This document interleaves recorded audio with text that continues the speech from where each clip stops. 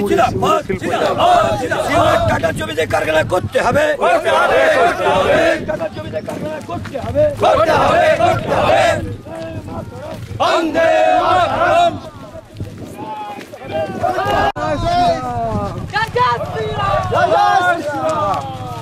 দাদা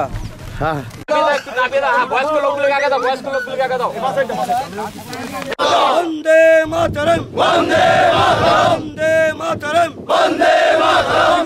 কৃষকদের সঙ্গে ধোকা করা হলো কেন? মমতা ব্যানার্জির জবাব দাও। কৃষকদের ঠকানো হলো কেন? মমতা ব্যানার্জির জবাব দাও। জমিতে শিল্প করতে হবে। করতে হবে করতে হবে। জমিতে শিল্প করতে হবে। করতে হবে করতে হবে।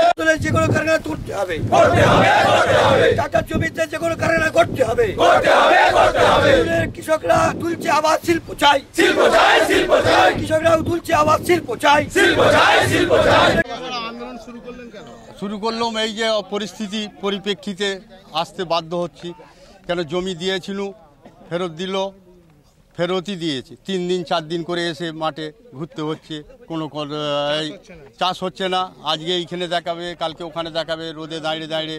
আবার এদিকে সংসারটা চলবে কি করে? এখানে এসে রোজ যদি দাঁড়িয়ে থাকব খাবে কি ছেলে নতুন আন্দোলনের চিন্তা কেন আন্দোলন চিন্তা করলাম এগিয়ে এসেছে যখন। পার্টি বিজেপি এগিয়ে এসেছে। বিজেপির হাত ধরে যদি আবার কিছু প্রধানমন্ত্রী। হয়েছে যদি ফের ওর হাত ধরে আমাদের এখানে শিল্পটা হয় হলে সিঙ্গুরে কারখানা হোক। আপনার নামটা বলুন। আমার নাম শ্যামাপদ সাহানা। আন্দোলন শুরু করলেন। সিঙ্গুরে সিপিএম শিল্প নাম করে জমিগুলোকে শেষ করে দিয়েছে। তারা খেয়ে চলে গেছে। তৃণমূল এই জমিকে সামনে রেখে ক্ষমতা এলো। কৃষকদের সঙ্গে ধোকাবাজি করল।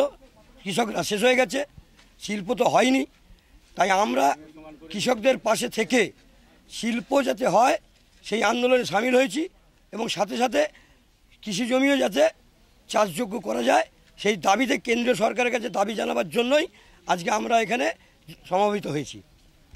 এবং আমরা দাবি করছি যে আজকে কেন্দ্রীয় সরকার যাতে সিঙ্গুরের শিল্প এবং কৃষি দুটোই হয়, তার সুব্যবস্থা করুক।